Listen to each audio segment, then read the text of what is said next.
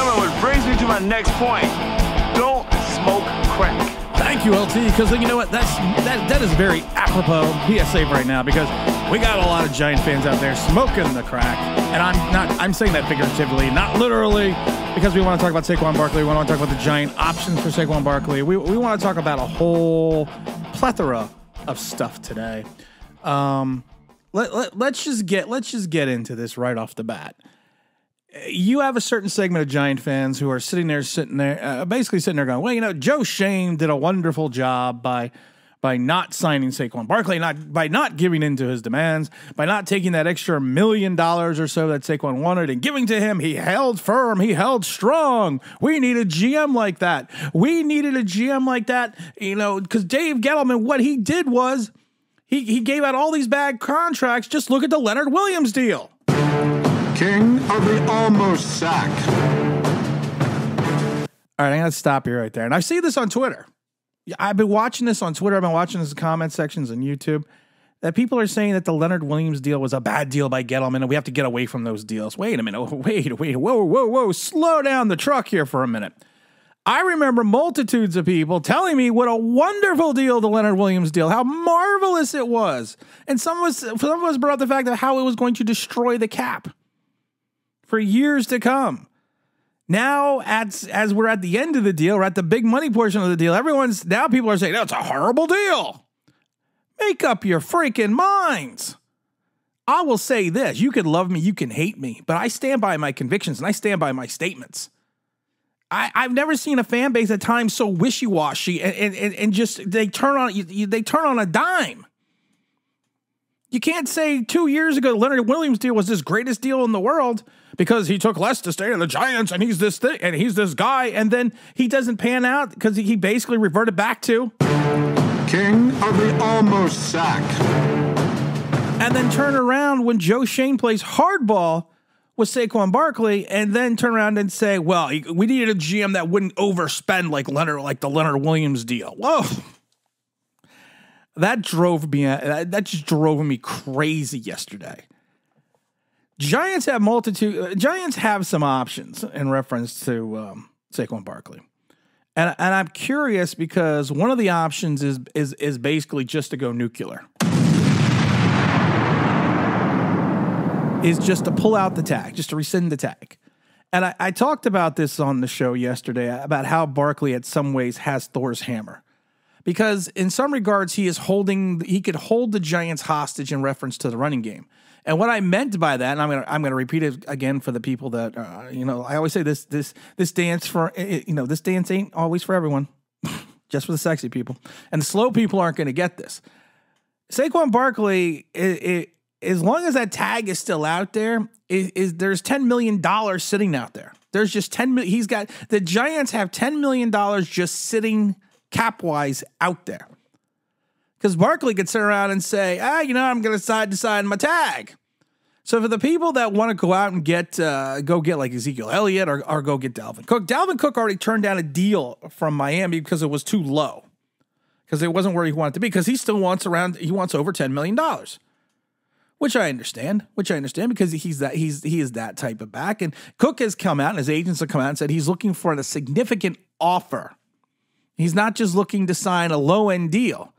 Now, the problem is for the Giants to even to consider going out and getting a running back such as Dalvin Cook, they would have to go nuclear and pull the tag away and rescind Saquon Barkley's tag. Because right now they only have a little over $4 million in cap space with the rule of 51. And once that rule of 51 expires, you're going to have to turn around and figure out exactly what you're going to do with those other two guaranteed, con- not guaranteed contracts, but those two contracts, uh, two other contracts are going to go against the cap. So I don't think you're going to give all $4 million to Dalvin Cook because of the fact the only way you could potentially do that is to rescind Barkley's tag. And I don't think the Giants are going to walk away from Barkley. I don't think they're just going to walk away and get nothing for him. Barkley did an interview, I guess, while all this was going down, and, and it's kind of interesting. And it's it's three minutes, uh, so I want to play some of this, and I want to talk about this because he talks about his his the franchise tag. He and it's it's actually a really good interview. I think it was off a podcast. Hold on, let, let's play a little bit of this. We're kind of talking to it. I alluded to it a little earlier when we were talking off air. You got to. It's hard. It's a hard balance because you got to go back to I gotta go back to when I was that kid and in Coplay. You know, didn't have I didn't come from much. I didn't have a lot. Never felt like it. My parents did a great job, but I was always aware. You know, we didn't make a lot of money. Um, you know, I, I, I, remember sitting down one time. I was on the phone with my dad. I was on the phone with a uh, with my manager and and my marketing guy, and my dad was sitting next to me, and a deal came up, and the money was it was a good it was a good amount of money, mm-hmm. but the timing I wasn't able to I wouldn't have been able to do it, so I had to turn it down. And my dad's like sitting next to me, and he just like looked at me and smiled, and I'm just like, "What are you smiling about?" He was like, "You know, like me and your mom together when, in one year, when, in two years, would not have made that deal you had to turn down. Mm-hmm. So like you got to go back to that place, and obviously that's more of like off the field, but you got to go back to that kid, and you got to go back to those fans like you come to the Giants game, I see a lot of fans with two a two six jersey. I see a, a lot of people that come up to me like the game that I play, which I play free for majority of my life. I'm able to have an impact. I'm able to create memories for kids, for fans, for people. So that's why, like when I when I you have to take a, a mature route because you can't just come out here and be like, nah, fuck that. Like, I need something that's fair. Like, I want something that's fair. Cause like, fair, what we talking about? Like, at the end of the day, like, we, we talk, a tag is still $10 million. And I'm, I'm well aware of that. And it's $10 million is a lot of money. A lot of money. And when you especially look at the, uh, the economics of our, our country and you look at the people in our country and where the, the poverty rate is, and I'm, I'm a person that comes from that, like, it's hard to be like, you know what, like, you see it on a on on TV on ESPN. Saquon reportedly turned down this, turned down that. Like, and you got fans like, how much do you want? Like, we just want you to be here, this and that third. Like, that's when it gets a little more upsetting to me because it's like, oh, but that's not the whole story. Like, I know, I know I'm not leaking out these stories and who's the source and then the third. Like, I don't want to come off like I'm greedy. I don't want to come off like I'm arrogant. Like, at the end of the day, you still got to do what's right for you though. And $10 million is a lot of money. But when you talk about, I know what Derrick Henry signed for. I know what Nick Chubb signed for. I know what Dalvin Cook contract previously was. I know what Christian McCaffrey contract is. He's the highest. He's at like $16 million. And I'm not even asking. Of course. For, I'm not even asking to be the highest paid. In my belief, I believe I'm the best running back in NFL. You ask me that to my core. I believe I don't I don't care about stats. I don't care about this. Like every situation was different. I believe I'm the best running back in NFL, and I'm not even asking to be paid the highest running back. But like Whoa. I know I know the I know like I could. It's not hard math. I can. I know if I play on a tag two years, which was I'm not saying a threat, which was someone told me we could tag you twice and you won't hit the open market until you're 28. Well, I know the two years combined, the tag is 22.5. So why would I ever accept a deal that the guaranteed money is not higher than 22.5? Kind of, I, I, I mean, uh, I can't wait till he's on uh, ESPN Game Day doing college football with Tim Tebow and Kirk Herbstreit and everyone else. I, I people and I laugh because I want to talk about it in a minute, but I, I just want to bring. I, I, laugh because people are like, well, he's going to turn out. To, he's not going to lose. He's not going to risk losing ten million dollars. This isn't football back in the eighties and nineties. This isn't football where where players had to have jobs in the off season. Saquon Barkley can go out and do a podcast. Saquon Barkley can go out and become an announcer. Saquon Barkley could be a guest host doing things. Saquon Barkley can easily make $10 million off the field in a year if he really wanted to, which is why he hired CAA, the Creative Artist Agency, which is which was founded in 1975 in Beverly Hills and specialized for years in just entertainment, movies, television, everything such as that. That's and that's one of the reasons I think he brought them in along with Roc Nation because there's other avenues, are other options. And Saquon Barkley basically just told you, you know, it, it, $10 million is a lot of money, yes, but it's not my value. And he's setting, just like Joe Schoen is setting a value on Saquon Barkley for his, um, for his team. Saquon Barkley has set a value for himself. And he's already saying, I'm not asking to be Christian McCaffrey. I'm not asking for that money. And he's even mentioning, I'm not leaking this information. Somebody's leaking this information. And I think he thinks the Giants are doing it. I, I, I would think the Giants were doing it as well. But he knows his own personal value. And and it's it's one of those things when he talks about the story about not having money as a kid, about how his uh, you know his parents didn't you know he was offered the endorsement deal and his parents would never even make that much in two years off of one deal, and he understands that. He understands that. Listen, yes, this this is a this is a big number, but at the end of the day, he is sticking to his own personal convictions and he's sticking to his values about what he feels that he is worth. And you have giant fans bashing him for that, saying, well, he should just sign a tag. He's being greedy. He just wants to get paid what he's worth or what he perceives that he's worth and what he knows that he is worth to this team. And then I love it because then you go and and there was uh, what was it yesterday? It was uh, it was the TV show Speak. Uh, and and you have uh, you have Shady McCoy and a couple other people on there, but I thought this I thought this was interesting too. After playing that, let's just play this real quick. This is only a minute. What would you rather invest in? A $350,000 Bentley or a $200,000, $300,000 house? Because a Bentley House. is going. Exactly. Wait, but I got a question though. Well, Oh, no, no, no, Who's hold on. Daniel Jones though? He's thought- the, he's the the house. house. He's, He's the house. Yes, Because the the quarterback is the house. Because the house is the house is going house. to appreciate Yeah, over yeah, time. ROI. You're He's right. not even a condo. He's like was- a he's like a, a garage, right? You can rent garages No. out. No, I mean, we are we really gonna sit here and act like Daniel Jones is this superstar wide No, a we're not- quarterback? nobody's saying that. Okay, I'm so so so that. for, yeah, that's that's just so like you supposed to get better, better each year, right? He's like like, I mean, I can't even say he's getting better each year. He had a really good year because he's a really good coach. Sure. Eh, eh, Right, Right. Brian Daboll, I, I played under. So he decided to, he decided to be married to that quarterback. But but here's a ceiling though. We haven't seen Saquon Barkley's ceiling. This should be an easy one. You ever seen the, I know, it is easy, A, a yeah. boxing match and after the fight, Yeah. it's like it's unanimous. Like we know who the champ should have won. Yeah. It's Saquon Barkley. It's not even close. First of all, do you know who the backup uh, quarterback for the Giants is? You know who he is? Is it Tyrod? Tyrod Taylor. Mm-hmm. So you telling me, right? Because the Giants ran the ball a lot with the quarterback. If, if, if Daniel Jones, let's say he he broke a shoelace, right? This is you know be safe. You tell me that Tyrod Taylor can't do what he's doing? I'm not saying he can't. Oh my God. Anyway, Saquon Barkley is the, is the most impactful player on that team. He's he's the biggest player We on didn't the say team. we didn't say on impact. We didn't say impactful. We said valuable. more viable. More I, viable. I think Saquon's the most impactful. But Sa- Saquon. Is more valuable. Hmm. Saquon is the more marketable. You see him on every commercial. You will never see Daniel Jones on any commercials. I look at the office as a defender. What are we doing, Rick? I look as a, I'm just, being- I'm just saying. I'm, I'm going over all the variables. As a defense, defense comes to, to play the Giants. You think they're really talking about Daniel Jones? I may mention him, but the main key to stop this team is Saquon Barkley. There you go. The main key to stop this team is Saquon Barkley. This is an outside opinion. Of course, he's Shady McCoy, the former Eagle running back as well, is a little bit biased because of the fact that he, you know, he was he he played under Brian Daboll.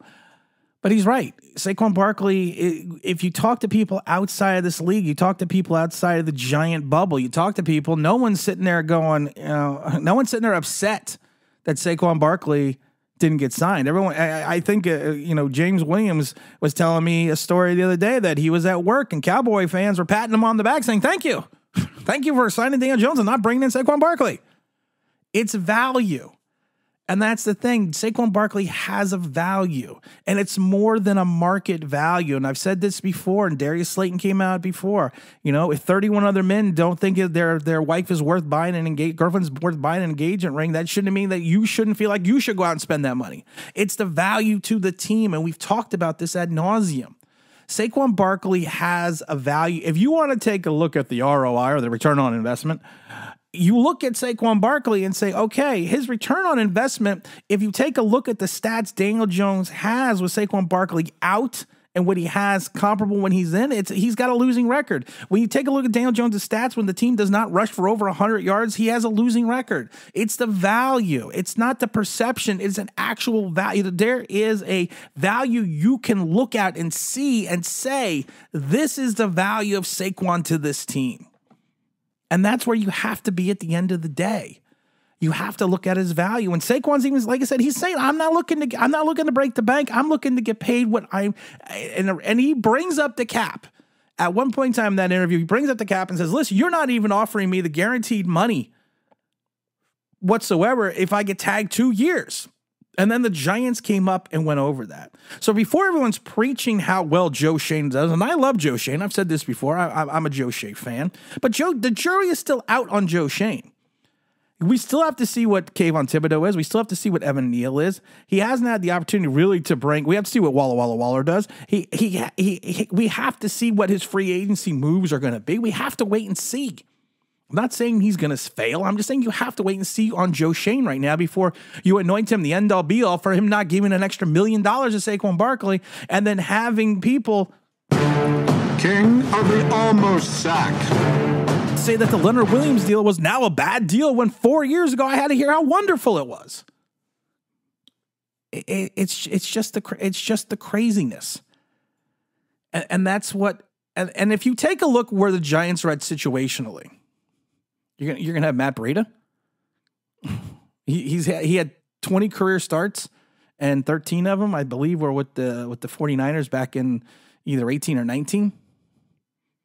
He's touched the ball just 175 times over the last three seasons, and Barkley had over 352, and that's with the, with the injury. I don't think he's never down back. I, I you're you're, you're going to take Eric Gray because everyone everyone's obsessed with Eric Gray's the quads again because that's going to make him a great back. But Eric Gray got drafted where he did for a reason. So you have to, and I'm not saying he is not going. To, and, and most people thought that he was going to probably go undrafted. But I'm not saying he's not going to be Ahmad Bradshaw. I'm not saying he's not going to do that. But you're again, I had to hear last year how Dane Belton was going to step in and be this star. And how we, we were going to rely on Dane Belton. And Dane Belton got hurt, and then Dane Belton got benched because he missed multitudes of assignments. And he got benched for an extended period of time by Wink. I had to hear about Yusuf Corker coming in again, this undrafted free agent who's going to step right into the lineup and be a star. Yeah, he didn't even make the team. So you're, again, you're putting a lot of, and I like Eric Gray. I met Eric Gray. I've posted pictures with me at Eric Gray. Great kid, good mentality, good focus. But again, you're relying on this this lower round draft choice to come in and replace Saquon Bar- Barkley. You got Gary Brightwell, who's only got 32 career carries. He did score a touchdown, I think, in the Packers game. Yeah, it was the Packers game. And then you got you got Corbin from last year. So your your running back room is not filled with talent, and you're not going to go out with that minimal amount of salary you have that four million dollars and go out and sign another option because you can't because you still have to worry about the rule of 51 expiring the day camp breaks. Schoen has talked about it multitudes of times before that he wants to have operational cap space, at least $10 million during the season. And he's already said that he's already basically come out and said he's against doing anything with the Leonard Williams or Dory Jackson contract because he wants them off the books. If you're already on the if you're already on the hook for Saquon for 10, what was really the thought process behind not going up to 12? Kind of listen, kind of listening to Saquon Barkley, what was the thought process of not going up to at least 24 million guaranteed over two? It's not a long-term deal. By the time the deal would end, he would be 28. But what what so what what was what what what was so hard ass about that? Coming up with an extra four million over two years. Not saying that would have brought Barkley in, but what was what would have been the problem doing that for a running back right now who's 26 years old and wouldn't it be 28? It would be only 28 after that contract expired. Now the Giants, of course, cannot negotiate with Barkley until until next year, but there are a couple there are a couple things they can do. I mean, they could give him a little bit more money. Uh, I, there's there's I don't I don't remember exactly how you do it, but there's a way you can give someone a little bit more money on on the tag. He they, the Giants can also come out and and agree uh, with Barkley that they won't tag him next year. They they can they can they can make that they can make that agreement where they say, "Hey, listen, you sign a tag this year. We're not gonna, we won't tag you next year, and you become an unrestricted free agent." So they they could they could do they could do that. You know, they they can also do like uh, Yannick Ngakoue did. He he agreed to play a little bit more. He he agreed to sign a contract that was a little bit less than the tag, so he could be traded. They the Giants could potentially do that, and like I said, or they could just go nuclear and just rescind the tag and then go out to the running back market and you have your 14 million and you go out and try to sign a running back. But you cannot undervalue Saquon Barkley. And this is probably the last Saquon Barkley video we're going to do for a little bit because I think the topic I think the topic is tired because until he does something, this is this is just going to hang over at camp. But I've said it before: if he sits out the entire season, I would not be shocked. I had someone who told me, and we did a video on it, that he wasn't going to sign the tag and that he could potentially sit out the season, and I believe that person. So we, we're going to have to just wait and see how this drama unfolds. Don't forget, we have the big show on Sunday with R0B, Sunday Giants. Make sure you tune in for that. It's every 1030. We're going to be giving away some um, training camp tickets as well. I'll be going to the camp those days, so you get to, if you want, you can hang out with me and some other people that are going. So that, that'll be fun. We'll talk about that maybe a little bit more on Sunday. And again, this is Tim. This is New York Giants Straight Talk. And don't forget to like, turn subscribe. And don't forget to ring that bell because you want to know why. That'd be awesome.